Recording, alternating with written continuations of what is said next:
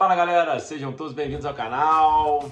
Cinco taças, cinco troféus relevantes, âmbito nacional e internacional. Isso mesmo, são o que o Flamengo está disputando e pode conquistar nesses últimos três, quatro meses, né?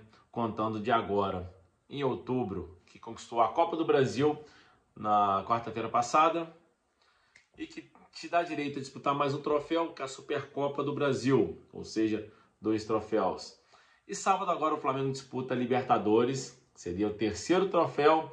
E se Deus quiser, se a gente for campeão, conquistando o tricampeonato, o Flamengo terá direito a disputar mais dois troféus internacionais, que é a Recopa Sul-Americana contra o campeão da Copa Sul-Americana, que foi o Independente Del Valle, que por sinal foi o mesmo time que o Flamengo enfrentou na Super na Recopa Sul-Americana de 2020 onde o Flamengo havia ganhado a Libertadores de 2019, e o Independente Del Vale a Copa Sul-Americana de 2019, ou seja, seria a quarta conquista, o quarto troféu.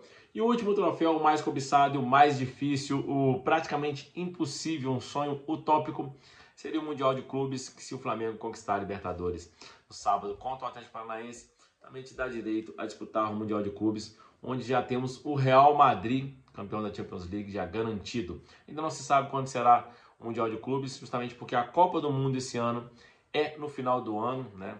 Começa agora em novembro, vai até dezembro, ou seja, a Copa do Mundo, por ser nessa data, por conta do clima, onde será realizada a Copa do Mundo, né? No Catar, ser um clima muito quente no meio do ano, está sendo feito no final do ano, e o que remanejará o Mundial que seria disputado no final desse ano para o ano que vem, 2023, ainda não se sabe se será em janeiro, fevereiro, março. A FIFA ainda irá definir se vai ter mundial ou não.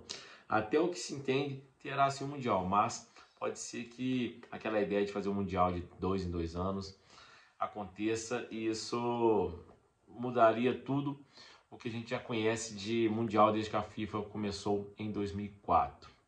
Bom, o Flamengo, como eu disse, já conquistou a Copa do Brasil, onde o Flamengo tem quatro conquistas com a conquistada na quarta-feira passada. Se conquistar a Libertadores será o tricampeonato. Se conquistar a Supercopa será o tricampeonato da Supercopa. A Recopa Sul-Americana seria o bicampeonato.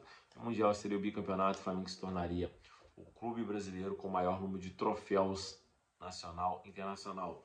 Lembrando que o Flamengo hoje, o Flamengo tem seis títulos internacionais e 15 títulos nacionais. O Flamengo tem o Mundial de 81, a Copa Libertadores de 2019 e 81, a Recopa Sul-Americana de 2020, a Copa Ouro Comembol de 96, vencida em cima do São Paulo, e a Copa Mercosul de 99, vencida em cima do Palmeiras.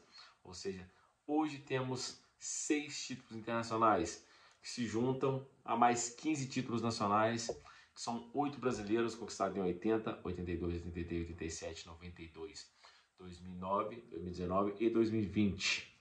Mais quatro Copas do Brasil conquistadas em 90, 2006, 2013, 2020. Duas Supercopas do Brasil conquistadas em 2020 e 2021. E a Copa dos Campeões conquistada em 2001, também em cima do São Paulo, nosso freguês em final. Também disputou três finais com o São Paulo ganhou duas. Perdeu a mais importante para a Copa de 93, mas ganhou a Copa Ouro em 96 e a Copa dos Campeões de 2001. Ou seja, o Flamengo, se conquistar mais alguma dessas taças, já tem 21 taças entre internacional e nacional. Se conquistar a Libertadores será o 22º, tendo a Supercopa 23º, a Recopa 24º. São os mais poupáveis. Já o Mundial contra o Real Madrid, uma possível final se passar do time que o Flamengo enfrentaria, ou um time mexicano, ou um time africano, um time asiático, um time, né, um time da Oceania, então não dá para se ter uma certeza se vai à final contra o Real Madrid. Mas ser campeão nos dias de hoje, quando o time europeu, é muito difícil.